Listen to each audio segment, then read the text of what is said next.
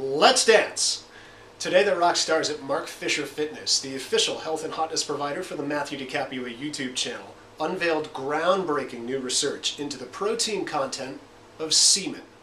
The Nestle company, acting immediately on the news, is announcing the launch of a new line of semen shakes.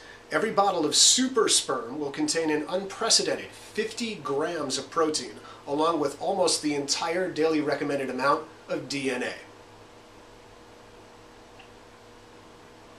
Now, the prototype beverage is a little salty, but Nestle has already announced plans for a whole line of flavors, including strawberry surprise and chocolate man juice. There'll also be a four ounce mini bottle called the Cum Shot.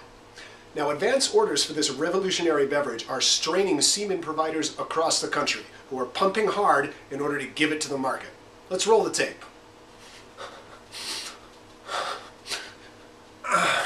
Look for super sperm shakes in your refrigerator section by the end of the month. That's all we've got. You can stop dancing now.